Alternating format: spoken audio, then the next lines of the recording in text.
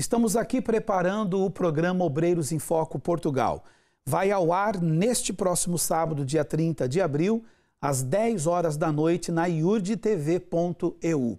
Dentre vários assuntos que vamos falar, um deles é a unção dos novos colaboradores e colaboradoras. Também novos obreiros e obreiras em todo o país, em Portugal continental e ilhas, em países da Europa também, já temos novos obreiros e obreiras, novos colaboradores e colaboradoras. Nós fizemos entrevistas com eles e você vai poder assistir aqui no programa Obreiros em Foco Portugal.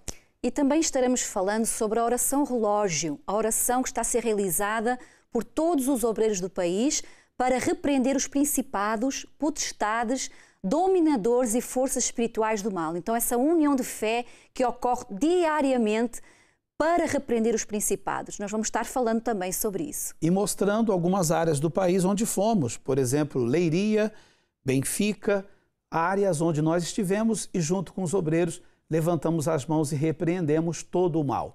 Nós também preparamos um vídeo em que o Senhor Jesus fala: Eu sou o bom pastor e o bom pastor dá a vida pelas ovelhas.